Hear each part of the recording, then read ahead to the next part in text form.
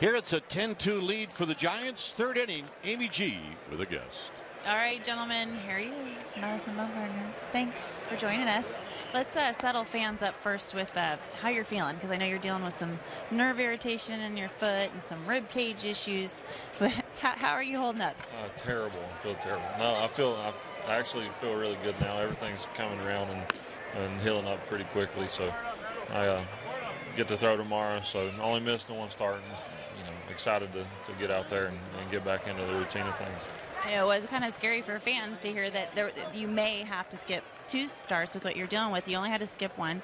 Um, with that said, tomorrow, when you go into these games in spring training, do you set your own goals? Are you talking with your with your coaches, and are you where you want to be, and where is that? Well, I mean, it, it just depends. Right now, it's just about just about getting ready for the season. So, you know, regardless of, of results, you just want to, you know, pitch count's the main thing. Getting up and down a few times, uh, getting out there and, and, and elevating your pitch count, and you know, ideally you would like to be getting outs when you're doing it, but you know, just just being ready is uh, is the main main purpose right now. So uh, you can't read too much into those things. Has that has that mentality come to you over time, Madison? I mean, just being able to uh, realize that this is a, a, really a work in progress spring training. Yeah, you know, once you get you know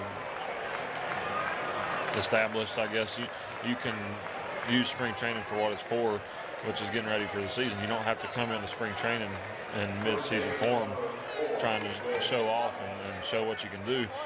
So, you know, it gives you a little more of a break, and you know, you know, your body don't take quite the toll that it would doing it that way. But at the same time, you know, you're going out here and competing, and you want to you want to be ready to get guys out from the get-go. So you got to understand both sides of it. Um, let's talk a little bit about some of those young prospects, and it feels really weird to ask you about young prospects because you're so young. But let's start with, with Trevor Brown, and you've been throwing to him this spring. He's going to catch for you tomorrow.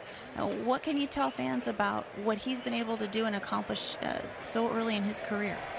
I mean, he's uh, he's a really talented catcher. You know, that's his uh, that's his game. But he, he can swing it pretty good too. But he's smart, smart player, and, and puts in the work and, and, wants to be good, wants to get better. So I mean, that's you can't ask for anything else from a from a young guy coming up.